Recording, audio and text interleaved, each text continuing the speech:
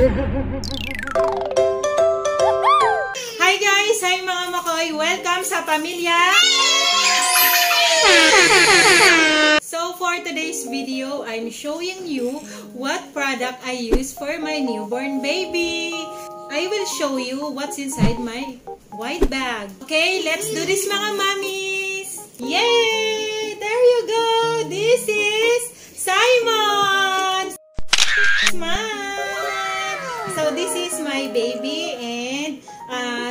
Months na po siya mga mommies. So, ah, sobrang mahirap talaga yung uh, magkaroon ng newborn baby kasi lalong-lalo na ngayon na uh, na nandito tayo sa ano sa panahon ng pandemic kaya sobrang hirap magmula sa pagbubuntis, magmula sa paglilihi, sobrang hirap. Kaya so, uh, saludo ako sa lahat ng mga mamis na uh, nag-aalaga ng kanilang maliliit na babies hanggang sa panganganak, paghanap ng hospital, sobrang hirap po. Kaya naman tayong mga mamis, gusto natin yung uh, maganda yung skin ng ating baby. Lalo na ngayon na sobrang init, summer, and yung sticky feeling. So, tayong mga mamis, gusto natin yung the best na product para sa skin ng ating mga babies. Kasi, lalong-lalo na na yung mga skin ng babies natin, pag baby, sobrang sensitive po. Kaya ngayon, mga mamis, magkakaroon tayo ng DIY test from Johnson Cotton Touch versus Brand X. So, papakita ko sa inyo yung difference ng uh, gamit kong brand versus Brand X. Okay?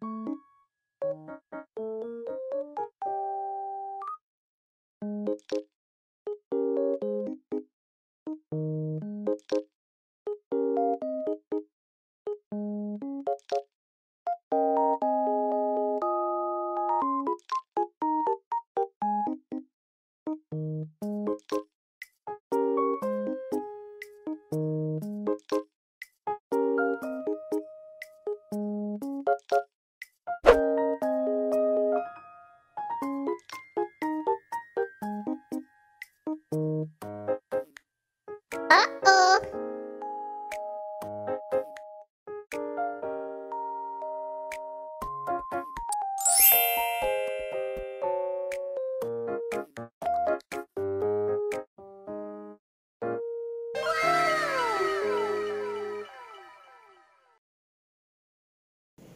So yun guys, yung Johnson's Cotton Touch bath for hair and body. It's easily to rinse and leaves no residue. So nakita nyo naman siya sa DIY test ko guys. And yung Johnson's Cotton Touch face and body lotion. Sobrang non-sticky talaga siya and ultralight. And super bilis din siya mag-absorb sa skin natin. That's why I always choose Johnson Cotton Touch bath and lotion products. Gives our babies 100% gentle skin protection. Made for newborn sensitive skin. So yun guys, thank you for watching. I hope nakatulong ako para sa mga sensitive skin ng ating babies. And you can click the link below. Ilalagay ko po kung saan pwedeng makabili ng Johnson's products. Thank you guys! Don't forget to like, share, and subscribe! Bye-bye!